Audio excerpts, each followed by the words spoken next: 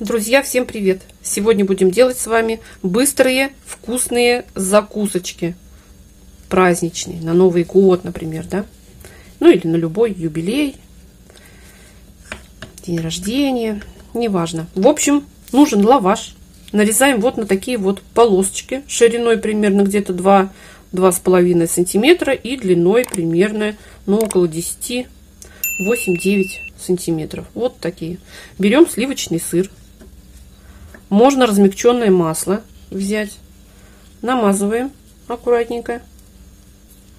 Сворачиваем вот так вот. Треугольничек. Кулечек такой, да? Помните? Раньше кулечки, семечки продавали. Вот такой кулечек. Заворачиваем. Вот так. Вставляем долечку огурчика. И добавляем икры. Вот так вот. И укладываем на блюдо.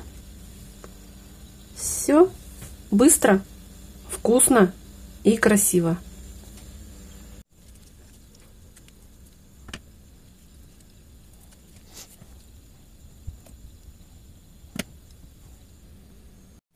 Вот и все. Всего лишь несколько минут. И вот такая вот тарелочка вкусных закусок готово.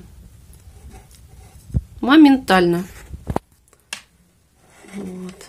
Само собой, все это будет очень вкусненько.